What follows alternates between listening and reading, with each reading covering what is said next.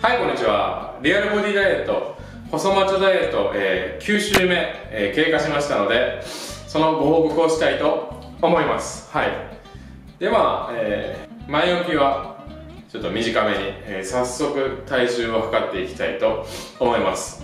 でね、えー、とすみません、えーと、ウエストがちょっとここではまた測れないのでウエストは、えーと、別ばかりで後で比較写真の時に掲載しますのでよろしくお願いします。それでは行ってみましょう。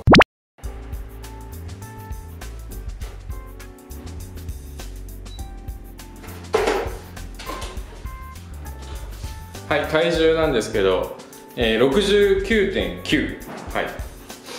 ついに、えー、70キロ出しました。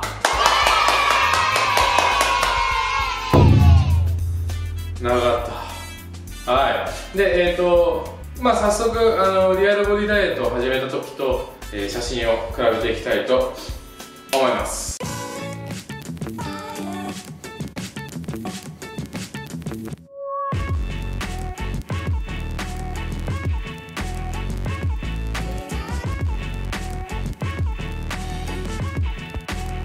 はいということで今回はこんな感じで、えー、体重の方も多分1キロ以上は確実に落ちてると思います。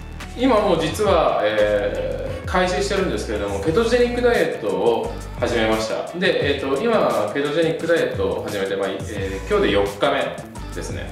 はい立ちます、えー、ケトジェニックダイエットについては、えー、また動画を出そうと思うんですけれどもケトジェニックダイエットの無理なく進められる方法っていうのをちょっと動画であの紹介しようかなとは思ってるんで、えそれはまた後日出そうと思います。はい。で、えーと、ケトジェニックダイエット今回は、えー、21日から大体28日ぐらい、えー、やっていこうかなと思ってます。はい。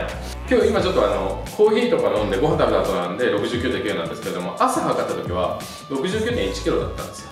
ケトジェニックダイエットを始めると最初のやっぱり1週2週ぐらいは、えーと、自分の場合はなんですけれども体重の減りが早いので、まあ、こういう結果になったんだと思います。はい、まあ、ちょっと全体的に自分の場合は皮膚が厚めなのでまあどれだけ落ちてもっとアウトラインが出ていくのかはこれからの体重の減りとかあとはまあ見た目を見ていって頑張っていきたいと思います。そんな感じで9週目終わりました。はい。10週目に向けててかまあ自分の目標に向けてこれからも、頑張っていきますのでよろしくお願いします。それでは！